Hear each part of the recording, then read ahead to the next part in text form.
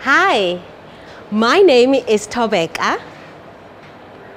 I work at I Love Coffee, which is my favorite place, and my coffee is delicious. Welcomed by a warm and friendly face, Tobeka Ketsiwa was born deaf. It's been a struggle for her to find a job, but things changed when she visited this cafe. Today she is a qualified barista employed by I Love Coffee, a social enterprise that not only creates jobs for people with hearing disabilities, but also provides them with the necessary training. So before coming to I Love Coffee, I was job hunting for three years.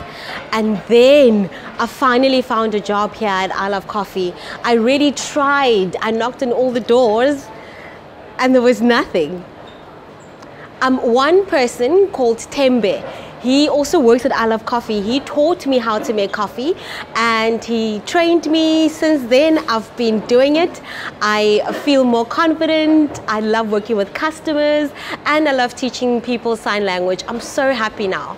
A few years on, and the training has expanded. I've been working here for two years and I started off with training on how to make coffee.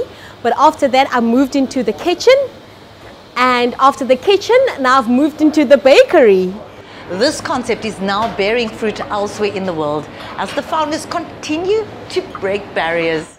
Gary Hopkins and his team were recently invited to take the concept to the UK, where they've opened this store. We've seen that where deafness is, wherever it is in the world, that problem of integration it exists.